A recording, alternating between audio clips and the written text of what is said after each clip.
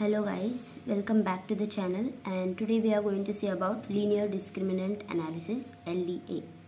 So LDA is a technique used in ML for classifying data into two or more classes and it is also known as normal discriminant analysis or discriminant function analysis and it reduces high dimensional data to lower dimensions while maximizing the separation between classes. For example, we have two classes and we need to separate them efficiently. Classes can have multiple features. Using only a single feature to classify them may result in some overlapping. So we will keep on increasing the number of features for proper classification. So here it is a diagram that shows how the overlapping happens. Now we'll see the assumptions of LDA.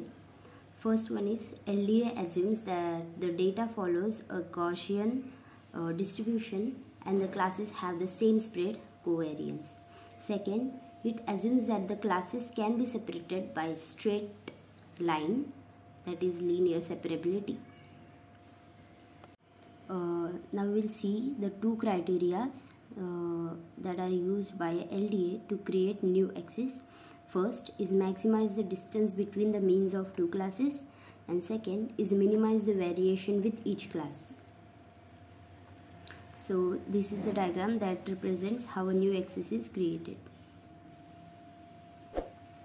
So this was it for the linear discriminant analysis and thank you for watching till here.